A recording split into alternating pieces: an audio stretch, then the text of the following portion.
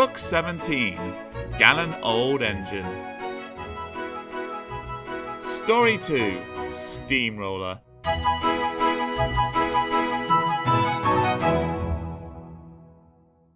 Sir Handel kept slipping between the rails, so they gave him new tires with broad tires. The other engines teased him. Look at his steamroller wheels, they laughed. You shut up, Sir Handel snorted. You're jealous. My wheels are special, like Peter Sam's funnel. Now I'll go faster than any of you. You'll never! The engines were surprised. Sir Handel's trains were usually late. Skarloey winked. With your grand new wheels, Sir Handel, he said gravely, you're just the engine to tackle George. Who's George? Sir Handel asked. While Sir Handel was in the shed waiting for his new wheels, workmen had come to widen the road, which ran for a mile or two beside the railway. They pulled down the wall, and nothing now protected the line. George was their steamroller. He chuffed to and fro, making rude remarks when the engines passed. Railways are no good, he would say. Pull 'em up, turn 'em into roads. Skarloey had often heard that talk before, and he warned the others to take no notice.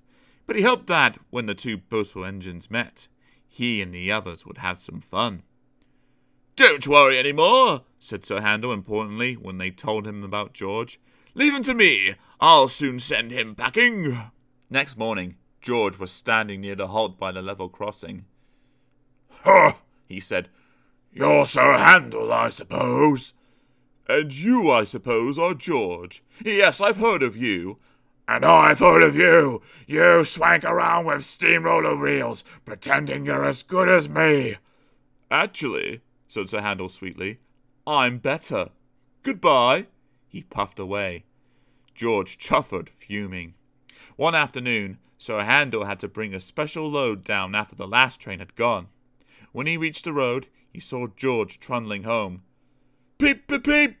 George took no notice. He trundled along close to the track. There was barely room to pass.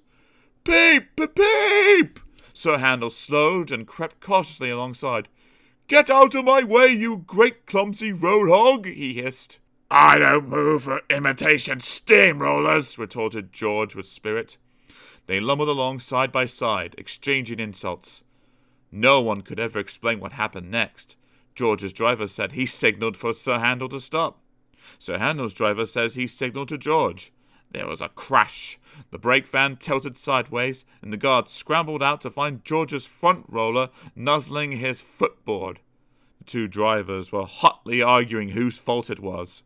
A policeman strolled up in time to stop the argument turning to fisticuffs, and when Sir Handel's firemen came back with Rusty and Mr. Hugh, they all set to work clearing up the mess. Neither engine had been going fast enough to cause much damage, so Sir Handel was able to bring his train on when George had backed himself away. Next day, the workmen put a fence between road and railway and then went away, taking George with them.